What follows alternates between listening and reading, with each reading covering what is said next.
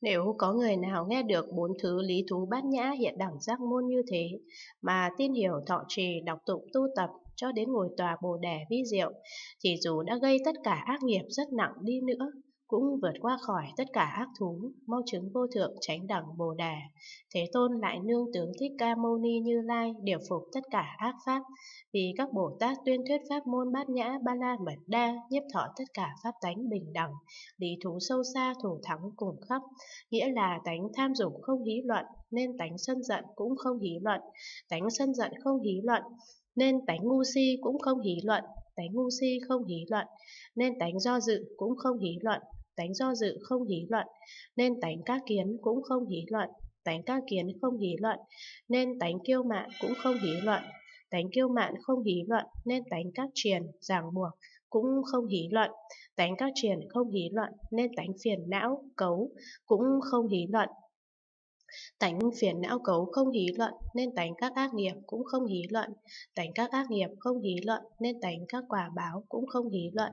Tánh các quả báo không hí luận nên tánh pháp tạp nhiễm cũng không hí luận.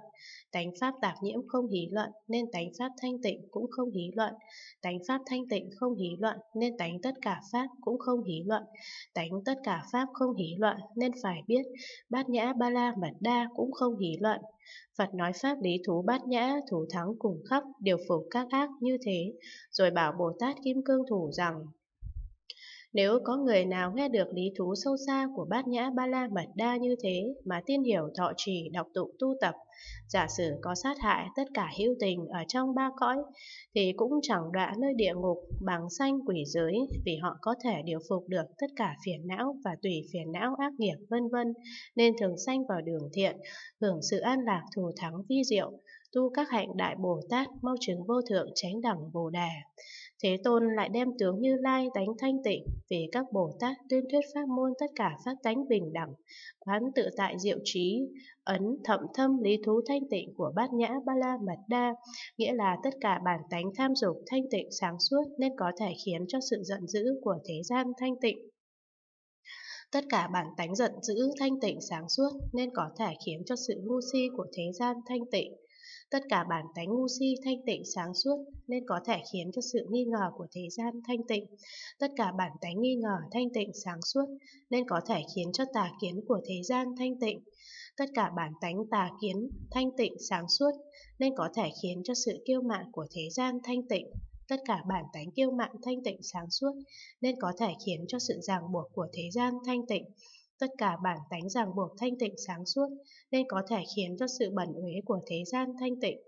Tất cả bản tánh bẩn uế thanh tịnh sáng suốt nên có thể khiến cho ác giác thế gian thanh tịnh.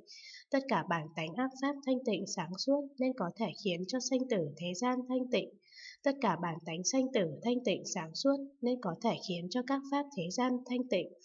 Vì bản tánh tất cả pháp thanh tịnh sáng suốt nên có thể khiến cho hữu tình thế gian thanh tịnh. Tất cả bản tánh hữu tình thanh tịnh sáng suốt nên có thể khiến cho tất cả trí thế gian thanh tịnh. Vì bản tánh tất cả trí thanh tịnh sáng suốt nên có thể khiến cho bát nhã ba la mật đa sâu xa của thế gian cực thanh tịnh thủ thắng. Phật nói pháp trí ấn bình đẳng lý thú bát nhã thanh tịnh như thế rồi bảo Bồ Tát Kim Cương Thủ rằng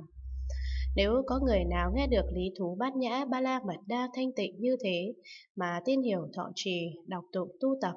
thì dù ở trong nhóm khách trần phiền não bẩn uế, tất cả tham sân si vẫn như hoa sen, không bị những khách trần lỗi lầm bẩn uế làm ô nhiễm, thường khéo tu tập thắng hạnh Bồ Tát, mong chứng vô thượng chánh đẳng Bồ Đà. Bấy giờ,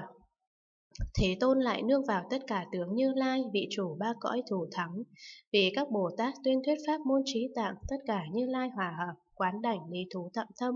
của bát nhã ba la mật đa, nghĩa là nếu đem ngôi quán đảnh thế gian bố thí thì sẽ được quả ngôi pháp vương ba cõi. Nếu đem nghĩa vô thượng xuất thế gian bố thí thì sẽ được tất cả sự mong muốn đầy đủ. Nếu đem pháp vô thượng xuất thế gian bố thí thì đối với tất cả pháp sẽ được tự tại. Nếu đem tiền tài vật thực vân vân của thế gian bố thí thì sẽ được tất cả thân ngữ, tâm an lạc. Nếu đem các thứ tài pháp vân vân bố thí thì có thể khiến bố thí ba la mật đa mau được viên mãn nếu thọ trì các loại cấm giới thanh tịnh thì sẽ khiến tịnh giới Ba La Mật Đa mau được viên mãn. Nếu tu học an nhẫn đối với tất cả các việc, thì sẽ khiến an nhẫn ba la mật đa mau được viên mãn. Nếu trong tất cả thời tu tập tinh tấn, thì sẽ khiến tinh tấn ba la mật đa mau được viên mãn. Nếu đối với tất cả cảnh tu hành tịnh lự, thì sẽ khiến tịnh lự ba la mật đa mau được viên mãn. Nếu đối với tất cả pháp thường tu diệu tọa, thì sẽ khiến bát nhã ba la mật đa mau được viên mãn. Phật nói pháp môn quán đảnh trí tạng lý thú bát nhã như thế, rồi bảo Bồ Tát Kim Cương Thủ rằng, nếu có người nào nghe được pháp môn quán đảnh lý thú trí tạng sâu xa, mà tin hiểu thọ trì, đọc tụng tu tập, thì mau được đầy đủ các hạnh Bồ Tát, sớm chứng vô thượng chánh đẳng Bồ Đà. Thế Tôn lại nương vào tất cả tướng Như Lai trí ấn, Như Lai chỉ pháp môn bí mật tất cả Phật, vì các Bồ Tát tuyên thuyết pháp môn bát nhã ba la mật đa kim cương lý thú sâu xa, tất cả như lai trụ trì trí ấn, nghĩa là nhiếp thọ đầy đủ tất cả kim cương thân ấn như lai, sẽ chứng tất cả pháp thân như lai hoặc nhiếp thọ đầy đủ tất cả kim cương ngữ ấn như lai, đối với tất cả pháp sẽ được tự tại hoặc nhiếp thọ đầy đủ tất cả kim cương tâm ấn như lai, đối với tất cả định sẽ được tự tại, hoặc nhiếp thọ đầy đủ tất cả kim ương.